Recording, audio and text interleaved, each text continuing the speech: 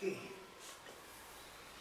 venimos de la calzada romana de la que yo veo que la conocí, no era adoquín como lo que hay ahí en Avenida del Cantar, no, eso es adoquín. No era adoquín, no, era empezar.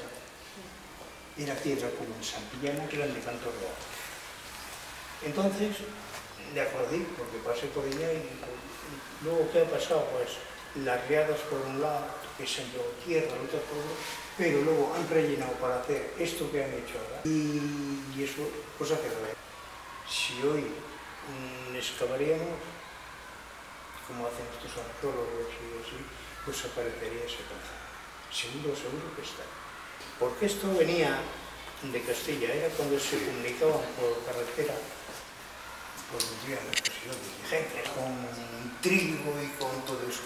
Y entonces traían a Santillana, que era la capital.